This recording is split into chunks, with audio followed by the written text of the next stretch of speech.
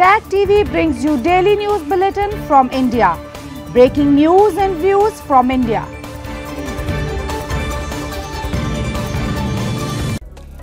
You're watching South Asia Newsline and the top stories we're tracking for you on Thursday, the 5th of October. Amid escalating tensions, India calls for parity in number of Canadian diplomats. UN opposes Pakistan's plan to evict illegal immigrants. And Bangladesh US on same page over elections, says Foreign Minister amid new visa policy.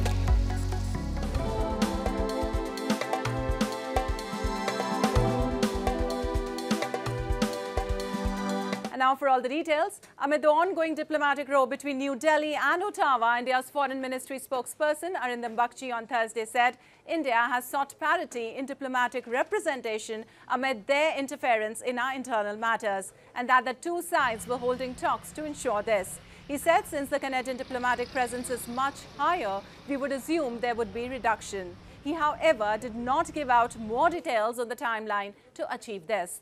The two countries are in a diplomatic spat since Canadian Prime Minister Justin Trudeau alleged that the Indian government is responsible for the killing of Khalistani terrorist Hardeep Singh Nijjar on Canadian soil. India has rejected the allegations as absurd and motivated.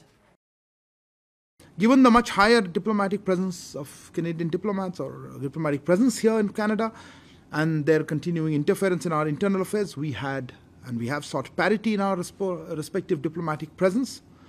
Discussions are ongoing on the modalities of achieving this. Meanwhile, the spokesperson also informed that New Delhi has raised concern about safety of diplomats with the UK on the Khalistani issue after a group of radicals prevented the Indian High Commissioner from entering a Gurudwara in Scotland. At least 14 people were killed and 102 others, including 22 army personnel, were reportedly missing in India's Sikkim state on Thursday after heavy rain caused a glacial lake to burst its banks, triggering flash floods down a mountain valley. According to state officials, around 12 to 14 workers were also stranded in tunnel of Teesta Stage 3 dam, which was breached by a fast-flowing Teesta river on Wednesday. The state capital Gangtok has been cut off by road with the main highway linking neighbouring West Bengal state to Sikkim was also getting snapped in the flash floods. Search and rescue operations were underway by a platoon of NDRF in Rangpo and Singtam towns, while three more units of the Disaster Relief Agency were en route to other affected regions. As of now, we have recovered 10 dead bodies. There are 82 missing persons which have been reported and which includes 23 personnel from army also. We are searching for them and making all efforts to trace them. And as of now, 26 persons have been reported injured also who have been given necessary treatment.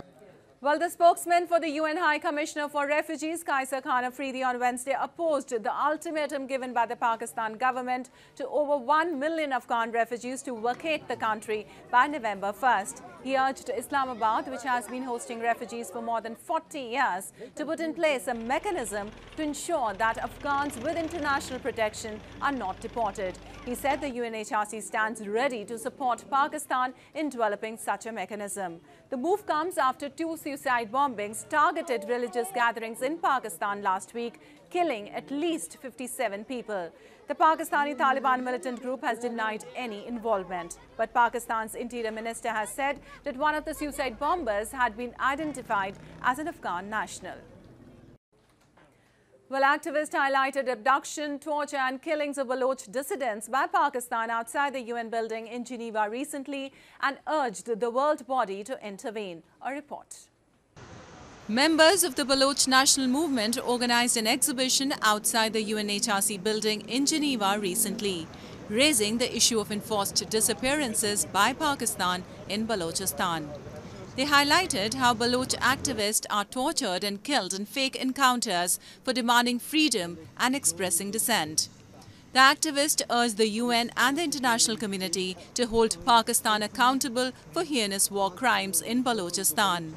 उनका मकसद और कुछ नहीं, ताकि लोगों को डरा, धमका कर अपनी जो बलोच आइडेंटिटी के लिए जो स्ट्रगल है, बलोच इंडिपेंड बलूचिस्तान की इंडिपेंडेंस के लिए जो स्ट्रगल है, या पाकिस्तान की जबरी कब्ज़े के ख़िलाफ़ जो स्ट्रगल है, उसे ख़त्म करने के लिए, उसे क्रश करने के लिए पाकिस्तान ने मुख्तलिफ़ टैक्टिस आजमाए हैं।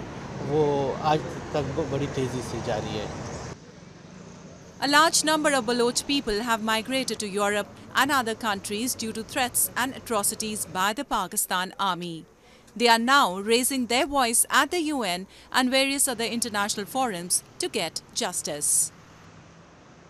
बलूचिस्तान में जो नाइंसाफ़ी या जुल्म हो रहा है बलोच कौम के ऊपर वहाँ पे इंटरनेशनल मीडिया को ना एक्सेस है ना कि लोकल मीडिया को एक्सेस है ना कि वहाँ पे जो इंटरनेशनल एन है वो जा सकते हैं तो यही एक हमारे साथ मीडियम है, जिसके थ्रू हम यहाँ पे जो इंटरनेशनल कम्युनिटी है, उनको अपना आवाज़ पहुँचा सकते हैं और यहाँ पे जो आम लोग हैं, जो मैसेज हैं, उनको हम अपना पैगाम पहुँचा सकते हैं और And weeks after the US started imposing its new visa policy for Bangladeshi nationals who undermine elections in their home country, Foreign Minister A.K. Abdul Momen on Wednesday said there's nothing to worry as Dhaka too has a similar visa policy. Hinting at tit-for-tat move, Momen said if any country imposes sanction on Bangladesh, Dhaka will respond in the same manner.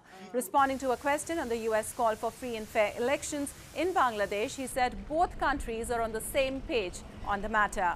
Bangladesh has made it clear that it wants free and fair elections. US also wants the same and will play a supportive role to the end. News agency UNB quoted him as saying, PM Sheikh Hasina's administration and several Western countries are at loggerheads over the electoral process in Bangladesh. Moving on, crisis at Sri Lanka is facing a big challenge from its largest bilateral lender, China, to secure a concrete debt relief framework as it is blocking access to desperately needed cash bailout of 3 billion US dollars from the IMF, according to a report by Nikkei Asia. Last month's visit by IMF officials to the island nation seemed like a hope for the country. But IMF, which has insisted on financing assurances from bilateral lenders as a key pillar, delayed a second tranche of $330 million in aid. Notably, Sri Lanka has invited China to join a committee of the country's bilateral creditors chaired by Japan, India and France aimed at drafting an external debt restructuring framework which China had rejected in April this year. And the iconic Dal Lake in India's Jammu and Kashmir, known for its serene beauty, has now become the stage for an exhilarating water-zorbing adventure, attracting a lot of enthusiasts. Take a look. Water-zorbing and exhilarating adventure activity has made its debut in the iconic Dal Lake in India's Jammu and Kashmir, offering a delight to both locals and tourists alike. The unique and heart-pounding recreational activity allows participants to roll inside transparent inflatable spheres on the serene waters of the lake. This exciting addition is the brainchild of a local entrepreneur with the support from the tourism department. पहले आप जानती है शिकार और house boats के लिए तो हमारा डल लेक फेमस था ही था तो लेकिन अब जो है और एक एक एडिशन हुआ है डल लेक में अभी लोग अभी तक याद रखते थे कि हम ने डल लेक में शिकारा राइड की है अब वो याद रखेंगे कि हमने डल लेक में वाटर जॉर्मिंग की है The initiative aims to diversify the adventure options available at this breathtaking destination while prioritizing the safety and enjoyment of all participants. एक तो कश्मीर कश्मीर तो अपने आप में ही एक हेवन है और उसके बाद ये तो बहुत ही अच्छा और बहुत ही नाइस एक्सपीरियंस है मैं तो सारे टूरिस्ट को बोलूँगी कि आए और इसे ज़रूर एक्सपीरियंस करें Well, that's all in tonight's edition. We'll see the same time tomorrow. Good night.